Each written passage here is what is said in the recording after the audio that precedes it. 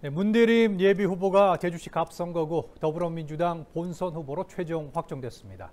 경선에서 현역인 송재우 후보를 근소한 차이로 앞서며 본선 티켓을 거머쥐었습니다.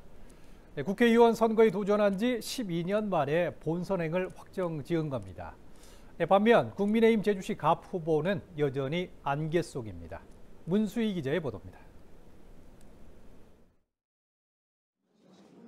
제22대 국회의원 제주시 갑선거구 더불어민주당 최종 주자로 문대림 예비 후보가 확정됐습니다.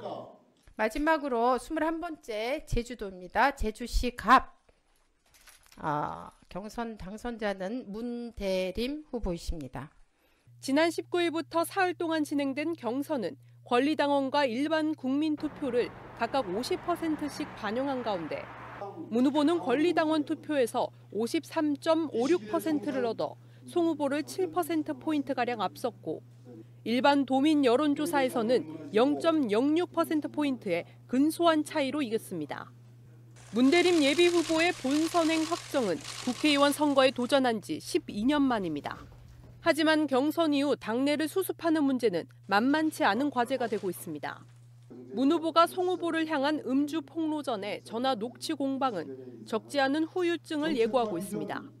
송재우 후보는 이번 경선 결과를 받아들이면서 자신의 SNS를 통해 지지자들에게 감사하고 좋은 결과를 보여주지 못해 안타깝다는 입장을 밝혔습니다. 우여곡절 끝에 민주당 후보는 결정됐지만 갑선거구에서의 상대 후보는 여태껏 정해지지 않고 있습니다. 유일하게 공천을 신청한 김영진 전 당협위원장이지만 공천관리위원회는 면접 후 열흘이 지나도록 아무런 입장을 내놓지 않고 있습니다. 이러는 사이 전략 공천설 등 여러 소문만 무성하게 나돌면서 문대림 후보에 맞설 후보 결정에 또 다른 관심을 모으고 있습니다. KCTV 뉴스 문수입니다.